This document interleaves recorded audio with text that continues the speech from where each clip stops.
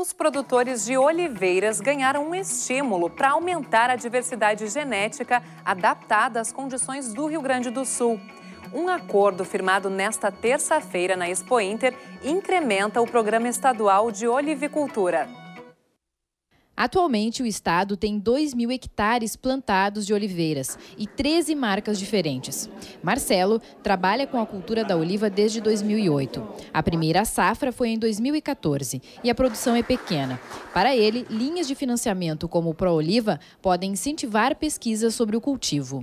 Não tem uma uniformidade, até porque tudo foi plantado baseado na cultura europeia e um pouco na Argentina, Chile, então nós estamos adaptando essas informações para o nosso região clima e solo do, do estado. Os azeites gaúchos em geral, todos são muito bons. Ninguém conhecia nada e hoje em dia tá, a aceitação está muito boa no mercado.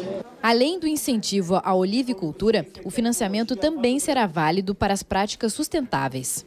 É possível, através dessa linha, é, estimular a produção, a expansão né, da, da produção primária de oliva, mas também toda a área de beneficiamento. E, além disso, nós estamos estimulando que as propriedades adotem é, soluções de energias renováveis, como é, solar, por exemplo. A área plantada com oliveiras cresceu 20 vezes no Rio Grande do Sul em 10 anos.